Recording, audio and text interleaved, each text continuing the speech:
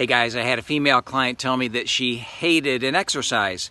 And I told her it was 100% okay to hate an exercise. Now, why is it okay to hate something that you're doing every week? Two reasons. Number one, you only spend one to two minutes on the exercise, so it's incredibly brief. You do it once a week, so it's infrequent.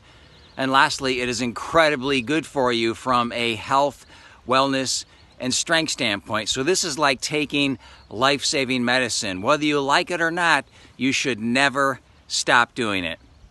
This is day 890 of Train Like a Champion.